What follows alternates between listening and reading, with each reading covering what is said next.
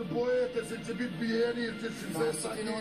Koga sam ja Bojete se ljudi, svi normalno. Pa nemaš prava. Naravno da ima pravo. Što ti meni daješ od naranđa, ovo? Se ti naranđa? Nemoj da me vređiš, ne diram se, nemoj da me diraš. Dobro skloni to. Perverzna jesam, a perfidna mi jesam. Najgore se mrzim te, ne volim te što mi zatim. Rekao si meni. Ja se sad. Neću da dižem sebi tenziju, neću se svađati s tobom. Ti ćeš da kažeš rekli su, ne može. Kakav vođa, taka i kuća. Ne diram te, Saška, ne diraj me. Piši mi Bane ti rekao. Ti hoćeš da si bitna, ti hoćeš da skačeš da stolo. Ako odeš sad ovog trenutka, završili smo zauvek, tu ne bi se u Bogu. Molim vas, vi raspravite to, ja idem napolje. Maš. Ajde bre, ti nećeš pevačice, nećeš ove gonitele, što mu ti pričaš? Hvala lepo. Toliko da to nije bilo normalno.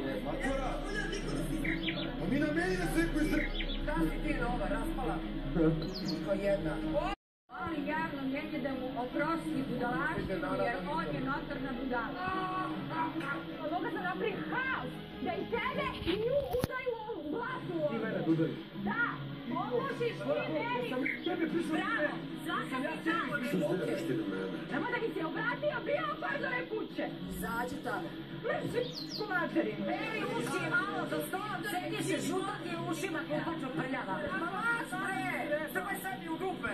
Dobro, oprosti. Ako ne možeš to da uradiš, posudit ćemo se i kraj priče.